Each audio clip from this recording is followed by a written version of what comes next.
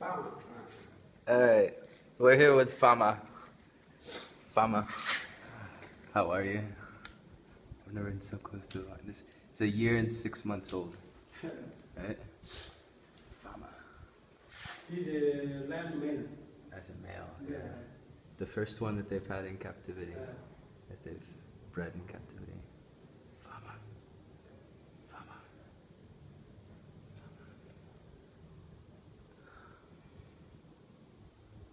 It is so big.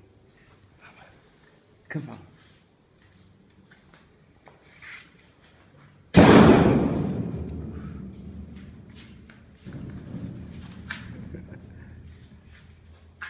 It's huge. and, uh, yes.